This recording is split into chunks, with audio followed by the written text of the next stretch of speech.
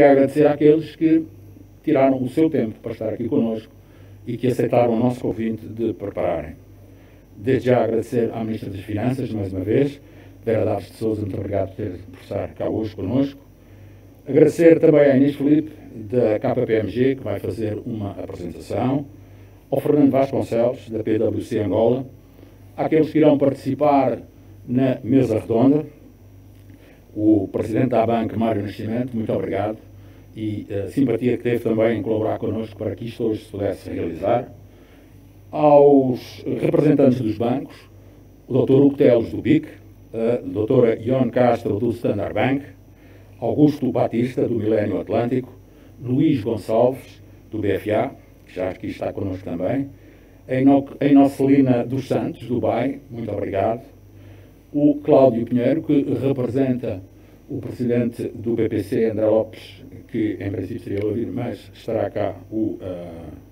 estará cá, uh, o Cláudio Pinheiro. Se calhar se eu tivesse dito que não havia questões práticas, bem, vamos seguindo. E agradecer então a todos estes que aqui estão.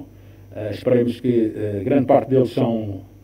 já participaram nestas mesas redondas, alguns são repetentes, outros não. Será certamente um dos momentos altos deste Fórum Banca. Mas então vamos começar e vamos começar, como sempre tem acontecido nos nossos Fórum Bancas, com a intervenção da Ministra das Finanças, Vera Daves de Souza. Faz favor.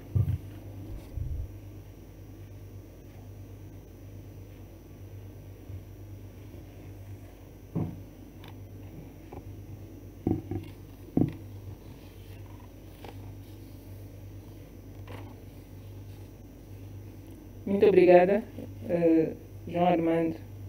Uh, assumindo que, que, temos conosco online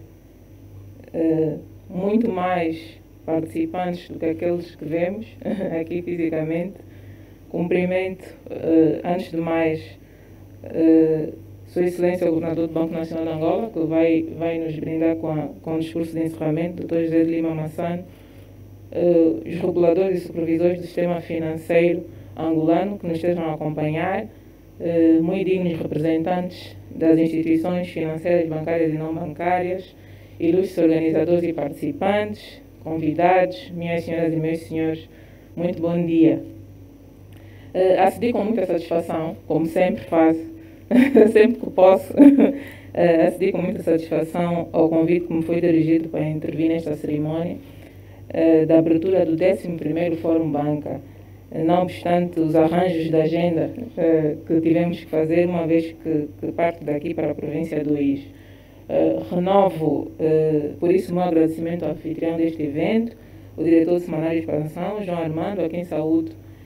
pela oportunidade do tema deste fórum, as transformações do setor bancário angolano a curto e médio prazo.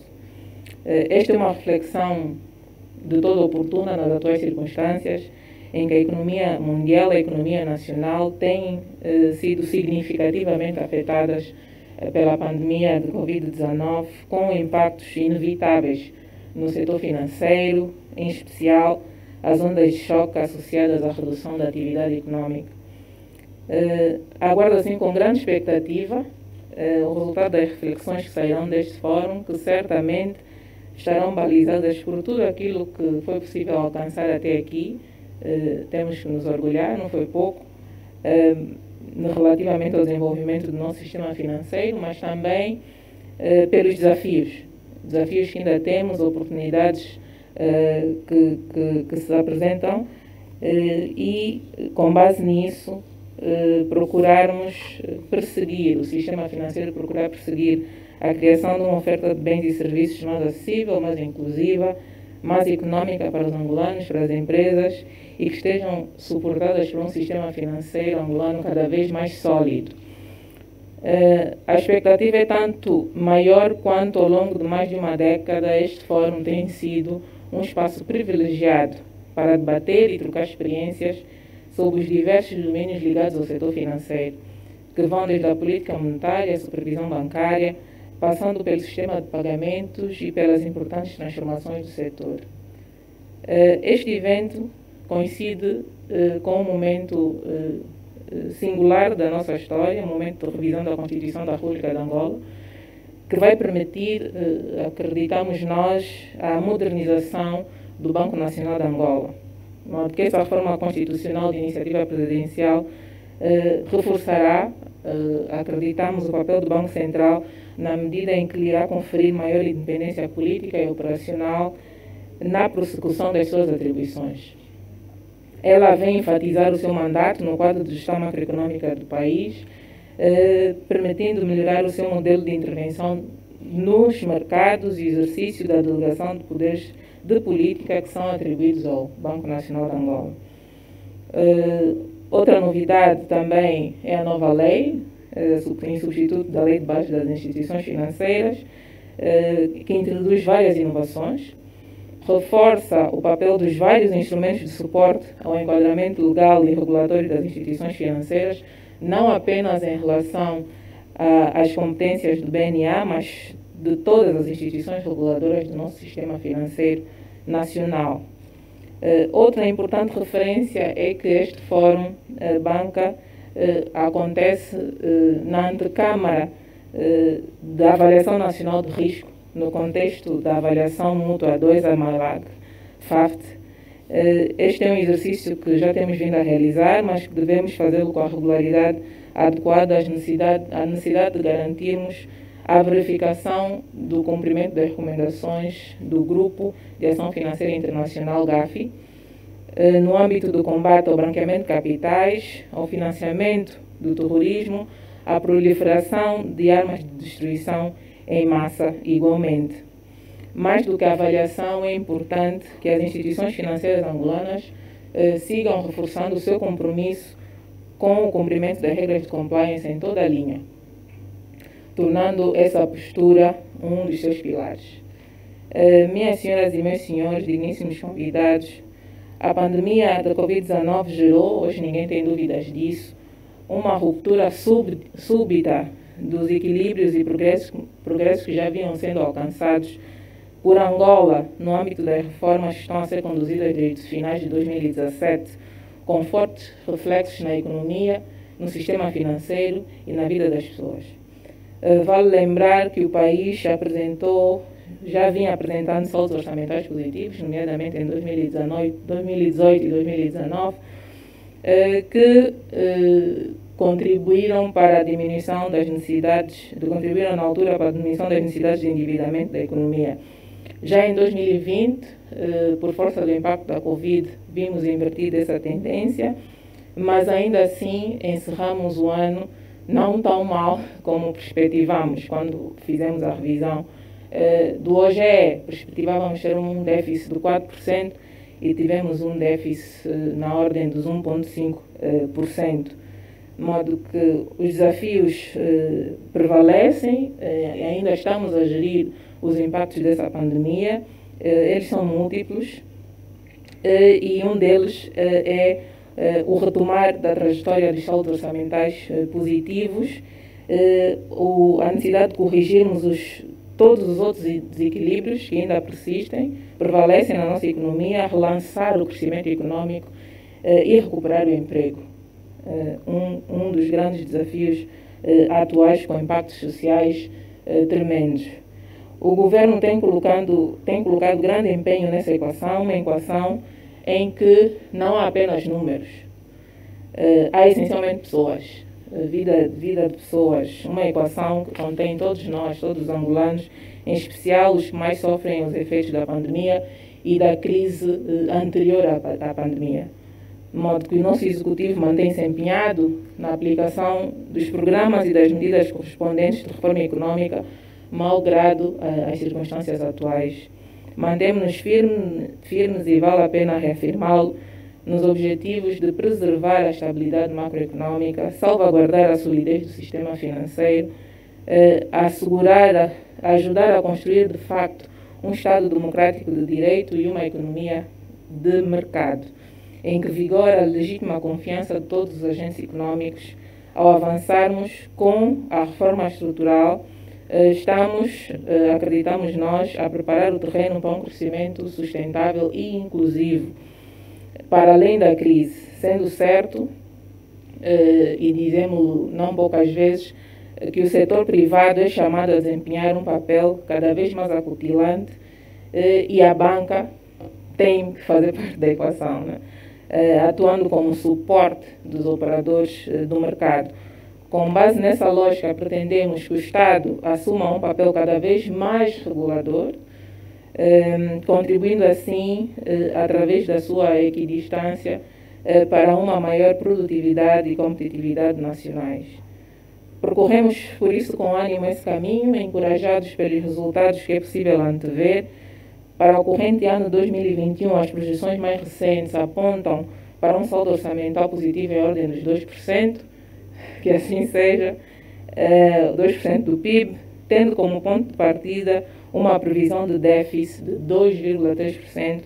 no Orçamento Geral do Estado. Temos também a expectativa de que possamos inverter a, a tendência negativa na curva de crescimento do PIB.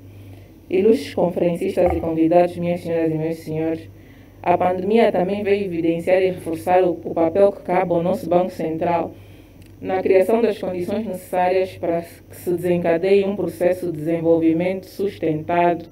eh, ancorado na estabilidade de preços e estabilidade financeira. Um tema que certamente eh, será debatido aqui e que o, João Armando já eh, sinalizou, ou pelo menos provocou, quando fazia as suas notas de boas-vindas. Um, essas condições de, de estabilidade de preço e estabilidade financeira são necessárias,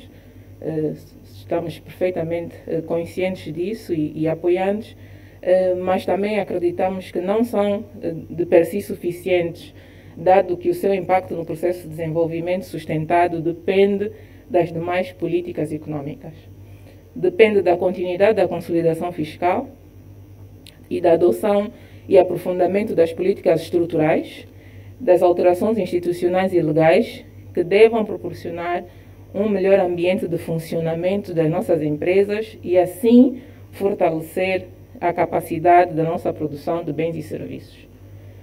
Nesse sentido, o Executivo tem realizado um elevado esforço na prossecução da consolidação fiscal através de um exercício continuado da correção do déficit fiscal estrutural, por forma a se garantir uma dívida pública crescentemente mais solúvel, por forma a um, e uma posição uh, mais provedora do sistema financeiro nacional. Uma dívida pública mais solúvel, o Estado numa posição mais provedora uh, e menos demanding de, de liquidez. Abrindo-se assim mais espaço para que a política monetária seja mais, mais eficaz sobretudo na medida em que concorra para a estabilidade macroeconômica a par e passo com a política fiscal. A nossa política fiscal, disse-o há pouco e sublinho, continuará a ser guiada pelo objetivo do Executivo de preservar e fortalecer a sustentabilidade das finanças públicas. Tal desígnio requer que continuemos focados na redução e manutenção em níveis compatíveis com a sustentabilidade da dívida das nossas necessidades médias anuais de financiamento bruto,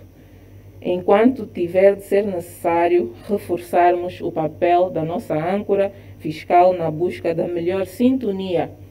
entre o equilíbrio financeiro das finanças públicas e a sua eficácia em termos de contribuição para o crescimento econômico. Temos consciência do quão difícil é este equilíbrio e de quão precário pode ser até que se consolidem todas as variáveis: educação de base, emprego, qualificação do nosso capital humano, produção nacional de bens alimentares essenciais para o combate à fome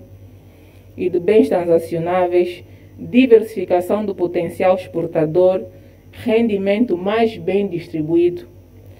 eh, são apenas algumas, eh, mas eu diria, eh, algumas das mais importantes premissas e derivadas